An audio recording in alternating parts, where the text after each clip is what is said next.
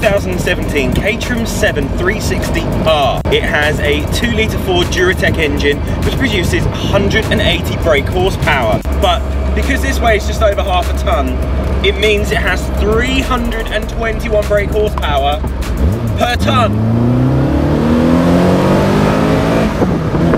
Now to put that into perspective, that's 4.8 seconds to 60, which while you may not think is a grand old number for something of a, a small sports car, in reality is actually very, very fast. So fast that a Range Rover SVR will struggle to keep up with it. It has the Caterham Bilstein shocks front and back, and then it has quirky things like unequal front double wishbones. This specific one comes with 13 inch alloys with Avon semi slicks on, and let me tell you, while they grip greasy roads, uh, they can be a bit of fun.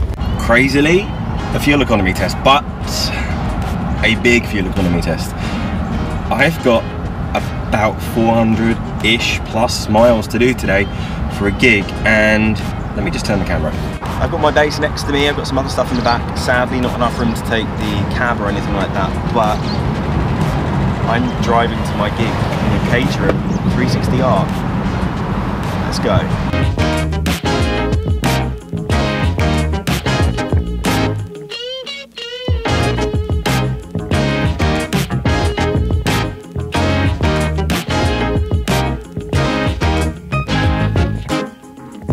Many, many hours later, I've arrived. I'm in Plymouth. That's 222 miles, which this did for 35 pounds. One thing I will say is that while it's not as comfortable as a conventional normal car, this is actually, considering it's track orientated, extraordinarily comfortable to be in on a long journey. That's four hours, and my back's not broken. Good job, Caterham. It also has rack and pinion steering without power steering, which means dry steering, well, you don't really want to do it. Now, a base 360 comes in at around about £25,000 but this one has a few options. So, it's got the factory build, that's two and a half grand. It's got a wider chassis, that's two and a half grand. It's got the R-Pack, which is four and a half grand, and that includes things like limited slip diff, lighter flywheel, it's got a carbon dash, 12 volt socket to charge your phone when uh, you're driving and you're using it as a sat nav. You get a four point harness, and then you get a black pack. 1250 pounds worth of it is then weather pack which hilariously is doors and a roof. They're vinyl and they're pretty easy to install, but until you've done it a few times, it is a bit of a slog. The total price for this car is £42,470, which is a lot of money, but when you consider the fact it can do this,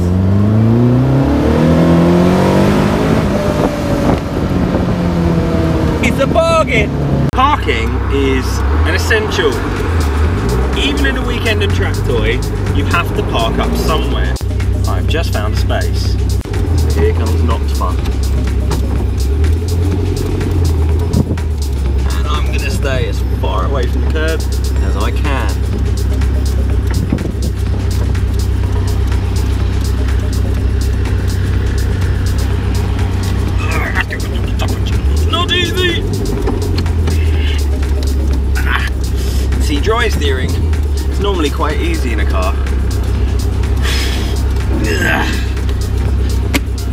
Not in a car with no power steering, no roof.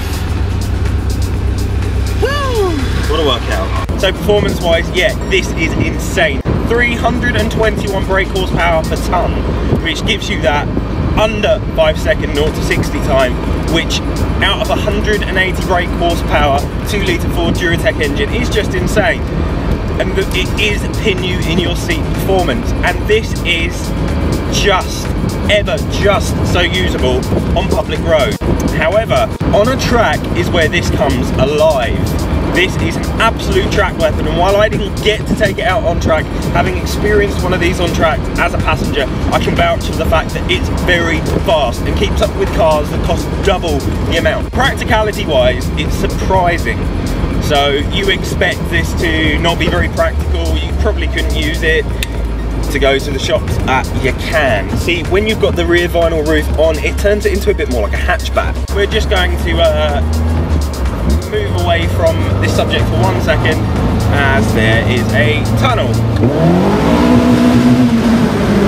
It does have some practical ability. The fact that it's got a 12 volt socket means that you are able to charge as you go along. The seats are quite comfortable and while the four point harnesses are a little bit tedious from a, from an everyday point of view, it doesn't kill you, you get used to them. You fit into literally every car park known to man. The only problem comes is speed bumps. England likes having big speed bumps and I don't know why. But as a result, it means that you do bottom out every now and then. But That's about it. Comfort wise, it's a very comfortable car. While the seats aren't adjustable, they don't break your back. There's actually enough padding to keep you comfortable. Then there's a heater, which is an option. The heater allows you to keep warm. There's no air conditioning.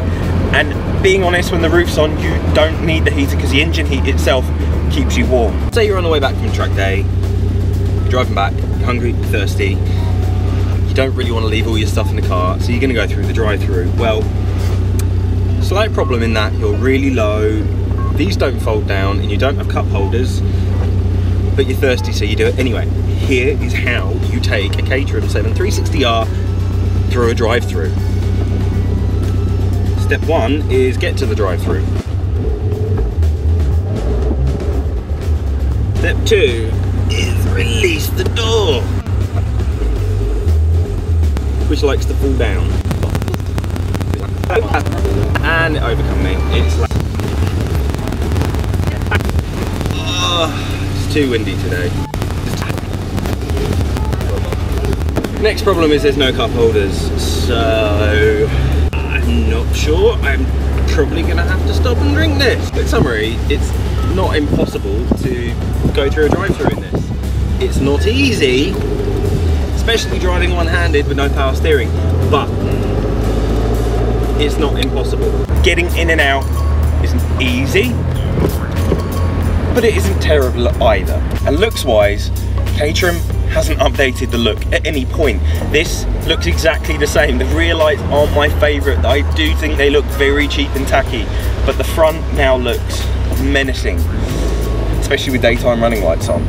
The black pack makes this more sleek and more of a track based car. And then from a daily point of view, what can I say aside from the fact that I would 100% daily one of these every day of the week, come rain or shine. Regardless of the semi-slicks, this is a fun car that every push of a button will put a smile on your face. It annoys me that there's road noise. It annoys me that I can hear everything that's going on. But at the same time, it makes you smile. Because this is just an insane car. It doesn't make sense. It's wild, it's wacky. And I'd own one every day of the week. Just for that. Just for the fact that you can pull out and do that. Yeah, I know, semi-slicks, it's a little bit greasy, I'm now burning through them, and if it was my wallet, I wouldn't be happy, but you would. You would be happy with that. It's an insane car that's practical and impractical at the same time, that's, that will make you smile and make you angry at the same time. It's a car that everyone wants to talk to you about. Everybody looks at this as you drive around. Kids are ecstatic, especially in red. It's a red race car. And when I stop and I take photos or videos, everybody wants to stop and have a chat. And the question is always, did you build it? But in every single stretch of the word, this is an epic, epic machine.